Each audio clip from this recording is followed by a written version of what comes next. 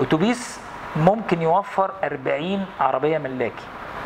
فبالتالي ال- لو لو عندك أتوبيسات كافية بتنقل الناس من آه، آه، مساكنها لأماكن عملها آه، ده كل أتوبيس ممكن يوفر 40 عربية ملاكي في الطريق.